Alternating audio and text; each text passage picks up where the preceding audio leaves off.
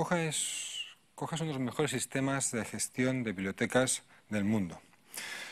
Es capaz de gestionar perfectamente los recursos físicos de todas las bibliotecas y desde hace años también estamos aprendiendo a gestionar la biblioteca digital. ¿vale? Yo hago una pequeña diferenciación entre digital y electrónico, es una división mía personal porque me gusta y yo lo valgo.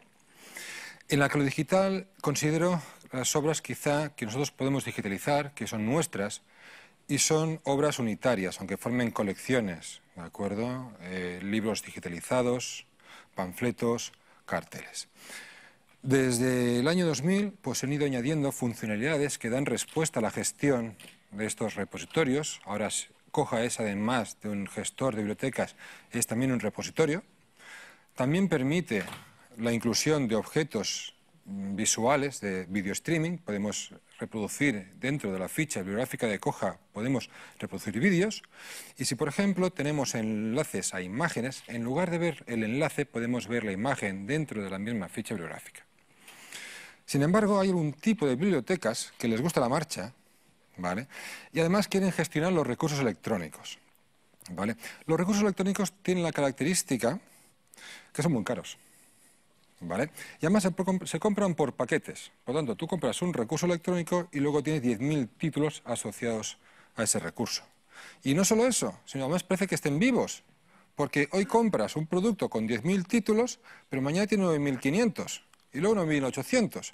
Y la gestión de todo esto requiere un sistema específico. Entonces, dentro de lo que es la comunidad de Coja, se planteó la necesidad de, vamos a ver, hay una naturaleza de recursos bibliográficos que están eh, comprando las bibliotecas que se tienen que gestionar diferente, porque el proceso de gestiones es realmente diferente. Existe la posibilidad de decir, bueno, vamos a hacer un nuevo módulo o vamos a integrar, lo que decíamos, integrar Coja con un módulo ya existente. Y finalmente lo que se decidió fue ir hacia la integración con Coral. Coral, no sé dónde apuntar, yo voy apuntando. Toma rayo láser. Eh, Coral es un ERM, que es un sistema de gestión de recursos electrónicos. Además, en sí está dividido por módulos individuales interoperables. Estamos recuperando también la filosofía de Folio, estamos hablando de módulos que tú puedes utilizar uno o puedes utilizar varios. Y además están integrados entre sí.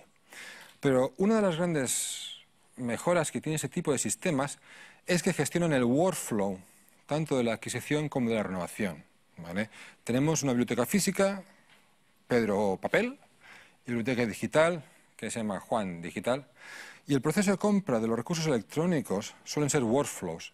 En la biblioteca física suelen ser procesos más sencillos. Oye, voy a comprar una colección de libros, llamo, me los compran, me los traen. Esto es que es tan sencillo en la biblioteca física, en la digital se complica bastante. Se complica bastante porque para empezar, hay muchas instituciones que participan en el proceso. ¿De acuerdo? Y una de las problemáticas de la gestión de los recursos es también gestionar las organizaciones que forman parte de este proceso de compra. Tenemos departamentos, bibliotecas, universidades, consorcios, acuerdos nacionales. ¿De acuerdo? Y cada uno de ellos nos puede deleitar con una compra. Viene el consorcio y hemos comprado porque es Central. Y dos, bien, tenéis que catalogar 30.000 registros. un desastre. Coral lo que permite en este caso es gestionar todas esas organizaciones, relacionarlas entre ellas, ¿de acuerdo? A nivel jerárquico, por ejemplo. También nos permite controlar todas las personas asociadas a cada institución y también nos permite recopilar toda la información de problemas o incidencias que hayamos podido tener con cada una de ellas. ¿De acuerdo? Aquí tenemos una pantalla del módulo de recursos, perdón, de organizaciones, organización, aliases, aliases es los nombres alternativos. ¿Vale? Oye, el Sevilla Designs Direct es lo mismo, pues no lo sé. ¿Vale? Puedes entrar aquí y revisarlo. Contactos, incidencias, cuentas y aquí tendríamos los enlaces a licencias, a recursos, a lo que fuera. Bien, con Coral ya podemos organizar las organizaciones que están implicadas en el proceso de adquisición, renovación de nuestros recursos electrónicos, que no son pocos. Vale. Las licencias. La licencia sí que es un gran caballo de batalla. ¿vale? Cuando un usuario coge un libro, se va a Pedro Papel y le dice, Pedro, ¿qué puedo hacer? Pues mira, lo puedes coger, lo puedes leer, te lo puedes llevar a casa, pero no hagas fotocopias. Perfecto. En el tema de los recursos electrónicos es algo muy, mucho más complejo. ¿De acuerdo? Un libro en papel, me lo llevo a casa y nada más lo puedo usar. En cambio, en un recurso electrónico yo puedo coger un libro, puedo leerlo, pero 10.000 personas más pueden. Nunca lo usan tantos, ¿eh? No, os engañéis. Ojalá. Por ejemplo, en formato electrónico puede darse el caso que un usuario quiera, o sea, descargue un PDF, lo deja, y si quiere volver a leerlo, por ley, debería volver a consultarlo a base de datos y volver a descargarlo. ¿Puede ese usuario, por ejemplo, ese PDF descargado, enviarlo a un compañero suyo? Cada recurso, cada proveedor, gestiona o controla ese uso con licencias. Coral lo que te permite es describir esas licencias.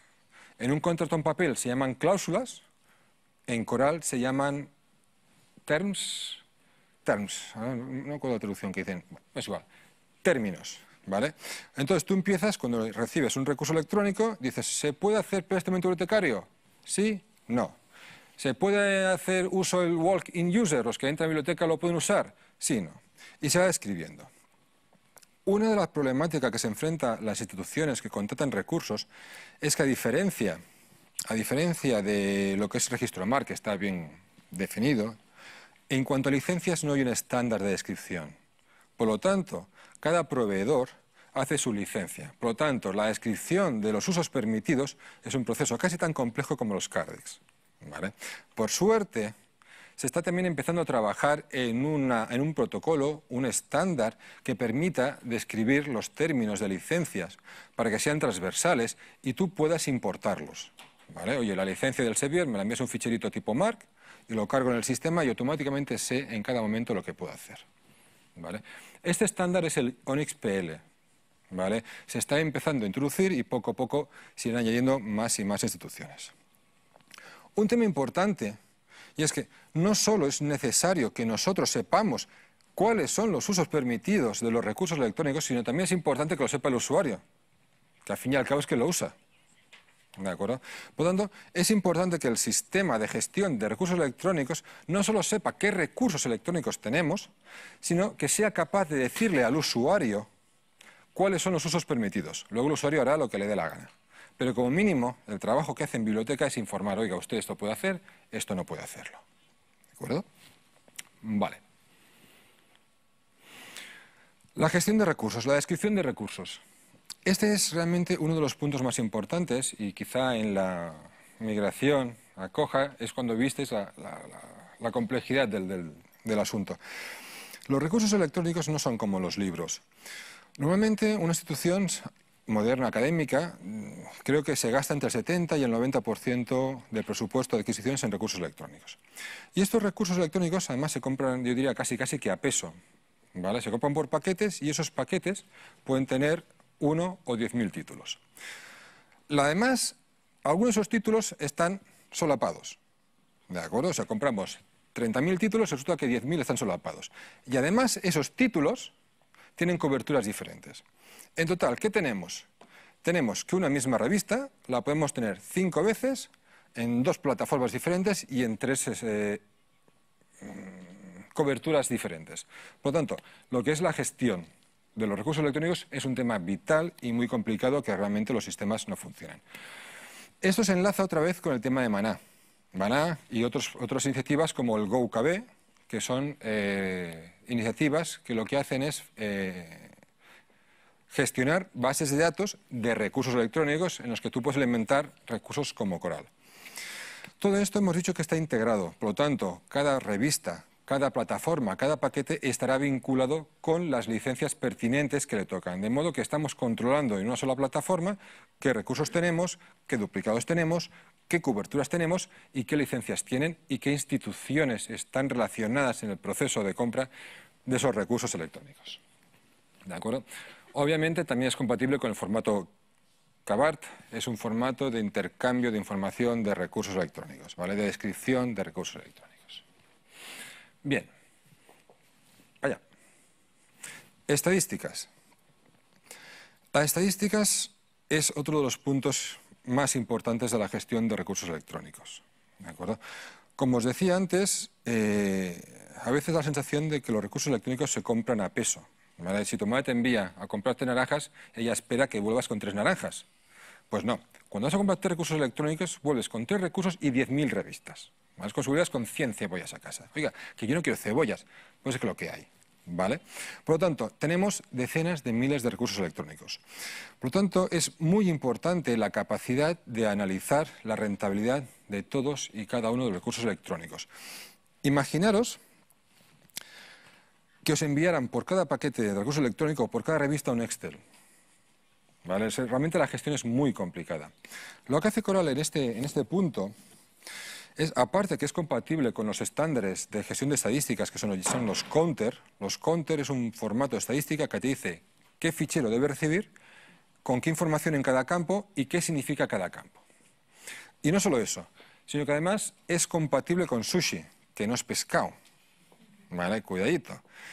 Eh, lo que es es Statistics Harvesting User Interface, algo así. Lo que hace este sistema es periódicamente, cada vez que nosotros le decimos A, el sistema se conecta vía OAI, si no me equivoco, vía OAI a los proveedores, se identifica y lo que hace el sistema es descargar toda esa información de estadísticas y las agrega en una única plataforma. De modo que biblioteca puede analizar la colección, puede analizar el uso de manera muy sencilla. Hay que olvidarse ya de los Excel porque el sistema tiene un modo de reportes que tú puedes ir parametrizando, oye, dame esta información, dame esta otra. Bien, me hago otra vez.